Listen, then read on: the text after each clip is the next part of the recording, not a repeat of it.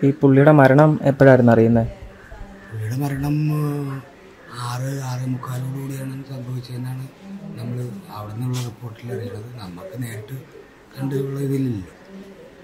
ഈ വിനോദ് എങ്ങനെ എങ്ങനെയുള്ള വ്യക്തിയായിരുന്നു ഈ പുള്ളിക്കാരൻ? വിനോദ് നല്ല ആൾക്കാരായിട്ട് നല്ല കമ്പനിയുള്ള ഒരു വ്യക്തി. ചേട്ടനായിട്ടുള്ള ബന്ധം എങ്ങനെയായിരുന്നു? ഞാനായിട്ട് ഇവിടെ അയൽക്കൊന്നുള്ളൊരു ബന്ധം മാത്രമേ പിന്നെ ഒരു വർഷമായിട്ട് പുള്ളി ഇവിടെ വീട് പണിയായിട്ട് ഇങ്ങനെ വരാറുണ്ട്. അങ്ങനെ സംസാരിക്കാറുണ്ട്. ഇവിടെ നിന്ന് ഫുഡൊക്കെ കഴിക്കാറുണ്ട്. ഇത്തിരി ഫുഡ് കൊടുക്കുന്ന പരിപാടിയൊക്കെ എനിക്കുണ്ടായിരുന്നു. ഫുഡ് കഴിക്കാറുണ്ടായിരുന്നു വീടൊക്കെ ഇപ്പോൾ വെച്ചതാണല്ലേ? വീട് വീട് വാങ്ങിച്ച് മെയിന്റനൻസ് ചെയ്ത് രണ്ട് നിലയാക്കിയതാണ് എത്ര എത്ര കൊല്ലമായി പുള്ളി ഇവിടെ വന്നിട്ട്?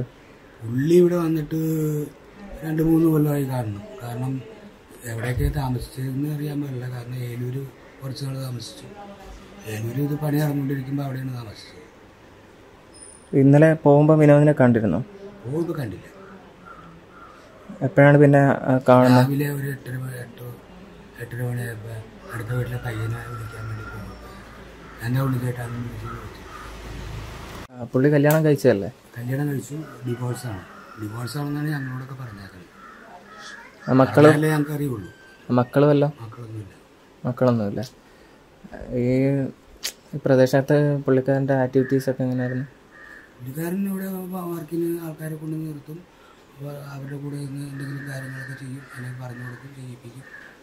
ഈ പൊതുകാര്യങ്ങളിലൊക്കെ നാട്ടിലെ പൊതുകാര്യങ്ങളിലൊക്കെ? പൊതുകാര്യങ്ങളിൽ നിന്ന് ആ ഇടപെടാനുള്ള സൗകര്യം പുള്ളിക്ക് വന്നിട്ടുണ്ട്. ഇവിടെ താമസിച്ചിട്ട് രണ്ട് മാസമല്ലേ ആയുള്ളൂ. അതുകൊണ്ട് പൊതുകാര്യങ്ങളിലൊന്നും ഇടപെടാൻ പറ്റിയിട്ടില്ല. ഇപ്പോൾ എൻ എസ് എസിലേക്കൊക്കെ മെമ്പർഷിപ്പിന് വേണ്ടി അപേക്ഷയൊക്കെ കൊടുത്തിട്ടുണ്ടായിരുന്നു. അതുപോലെ തന്നെ ഇവിടുത്തെ റെസിഡന്റ് അസോസിയേഷന് മെമ്പർഷിപ്പിന് വേണ്ടിയിട്ട് അപേക്ഷ കൊടുക്കാനായിട്ടൊക്കെ ഫോമൊക്കെ വാങ്ങിച്ചെടുക്കാം. ഈ ഇവിടുന്ന് ആരെങ്കിലും ഈ സംഭവ സ്ഥലം സന്ദർശിക്കുക എല്ലാം ചെയ്തായിരുന്നോ? നിങ്ങളോ? ആരും പോയിട്ടില്ല. അളിയനാണ് പോയേക്കുന്നത്. അളിയനും അളിയന്റെ കൂട്ടുകാരും കൂട്ടുകാരുമാണ് കൂട്ടുകാരാണോ പോയിരുന്നത് ഈ ഇതര സംസ്ഥാന തൊഴിലാളിയുടെ ഭാഗത്തു നിന്നാണ് ഇങ്ങനെ ഒരു വീഴ്ച ഉണ്ടായി പുള്ളി മരണപ്പെടുന്നത്. എന്നാണ് നമുക്ക് പത്ര റിപ്പോർട്ടിൽ നിന്നും മറ്റുള്ള ന്യൂസിൽ നിന്നും ഈ സീറ്റ് ബുക്ക് ചെയ്തിട്ടും കയറിയില്ല സീ സ്ലീപ്പർ കോച്ച് മതി എന്നൊക്കെ പറഞ്ഞുകൊണ്ടായിരുന്നു ഈ ഇഷ്യൂ ഉണ്ടായത്. ഈ സീറ്റ് ബുക്ക് ചെയ്തിട്ട് കയറിയില്ല സ്ലീപ്പർ ക്ലാസ് എന്തായി? എങ്ങനെയാണ് സംഭവമൊക്കെ ഉണ്ടായെന്നാണ് പറയുന്നത്. എനിക്കറിയില്ല. കാര്യങ്ങളെ പറ്റിയൊന്നും അറിയില്ല. അവരുടെ വർക്കാണ് അവർ വർക്ക് ചെയ്യണതിന്റെ കൂട്ടത്തിൽ എന്താ സംഭവിച്ചതെന്നൊന്നും എനിക്ക് പറയാൻ പറ്റില്ല. ഏ, പുള്ളിക്കാരന്റെ വീട്ടിലെ സ്ഥിതിയൊക്കെ എങ്ങനെയാണ്? വീട്ടിലാരൊക്കെ ഉണ്ട്? വീട്ടിൽ അമ്മയുണ്ട്. പെങ്ങളെ അടപ്പള്ളിലാണ് താമസിക്കുന്നത്. അമ്മ ഇയാൾ ഒറ്റയ്ക്കാണ് താമസിക്കുന്നത്.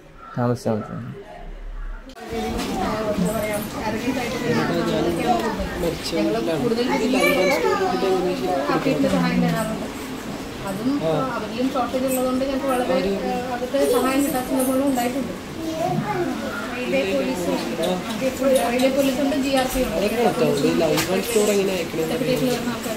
ഈ സുരക്ഷാ മതിയാകുന്നില്ല എന്ന് പറഞ്ഞാൽ ഞങ്ങൾക്ക് പലപ്പോഴും സഹായം കിട്ടാറില്ല. കിട്ട- തീരെ കിട്ടാറില്ല എന്നാലും കൂടുതലും കേസുകളിലും കിട്ടാറില്ല. പ്രത്യേകിച്ച് ലേഡീസ് നമുക്കെന്ന് പറഞ്ഞാൽ നമുക്ക് ആണുങ്ങളായിട്ട് ഡീൽ ചെയ്യുന്നതിന് പരിധിയുണ്ട്. നമ്മൾ എത്രയൊക്കെ പറഞ്ഞാലും ഒരു അക്രമാസക്തനായിട്ട് നിൽക്കുന്ന ഒരാളെ ഡീൽ ചെയ്യുന്നതിന് പരിധികളുണ്ട്. അതിന് ഏറ്റവും ലേറ്റസ്റ്റ് ഉദാഹരണമാണ്. അങ്ങനെയുള്ള ബുദ്ധിമുട്ടുകളുണ്ട്. ഇനിയെങ്കിലും അതിനെന്തെങ്കിലും ഒരു നാടിനെ മുഴുവൻ ദുഃഖത്തിലാഴ്ത്തിയ ഒരു സംഭവമാണ് കഴിഞ്ഞ ദിവസം നടന്നത്. സർക്കാർ മേഖലയിൽ പ്രവർത്തിക്കുന്ന ഇപ്പോൾ നമുക്കറിയാം പലപ്പോഴും ഡോക്ടേഴ്സിന് നേരെ ഹോസ്പിറ്റൽ സ്റ്റാഫിന് നേരെ ഉണ്ടാകുന്ന വലിയ തോതിലുള്ള അക്രമം. പലപ്പോഴും ജോലി ചെയ്യാൻ സന്നദ്ധത പ്രകടിപ്പിക്കുന്ന സത്യസന്ധമായി ജോലി ചെയ്യുന്ന ആളുകൾക്കെതിരെയുള്ള കടന്നാക്രമണമാണ് അങ്ങനെ ഒരു സംഭവം തന്നെയാണ്. ഇന്ന് സർവീസിലിരിക്കുന്ന ഉദ്യോഗസ്ഥർക്കെതിരെ അവർക്ക് ജീവനിൽ പരിരക്ഷ നൽകാൻ കഴിയാത്തത്. യഥാർത്ഥത്തിൽ അവരുടെ സത്യസന്ധതയും ആത്മാർത്ഥതയും ആ എഫേർട്സിനെല്ലാം മാനസികമായി തളർത്തുന്നതാണ്. അവരുടെ മൊറയിലിനെ തകർക്കുന്നതാണ്.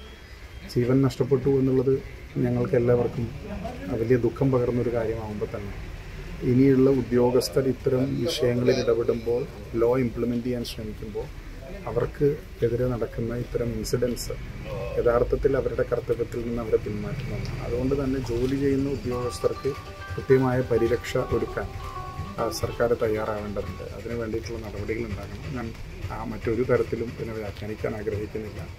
നിങ്ങളെല്ലാം ഒരു നാടിനെ മുഴുവൻ ദുഃഖത്തിലാക്കി ഈ സംഭവം ഇനി ഉണ്ടാവാതിരിക്കട്ടെ എന്നാണ് നമ്മൾ